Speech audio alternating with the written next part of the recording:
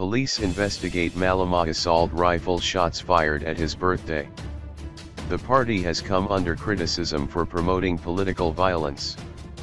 AfriForum flayed by EFF for laying charges against Malema. The police have confirmed the launch of an investigation into EFF leader Julius Malema firing a high-powered automatic rifle at his party's fifth birthday celebration gathering in the Eastern Cape on Saturday.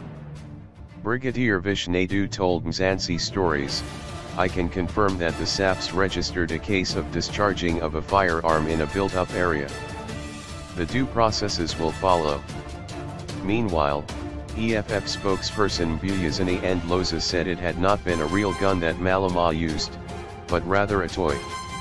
Mzansi Stories reported the party earlier said their leader had been firing in simulation at the Sisa Dukashe Stadium in Mdantsane in the Eastern Cape on Saturday.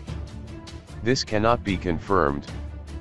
Following the incident, the EFF has come under criticism for allegedly promoting political violence.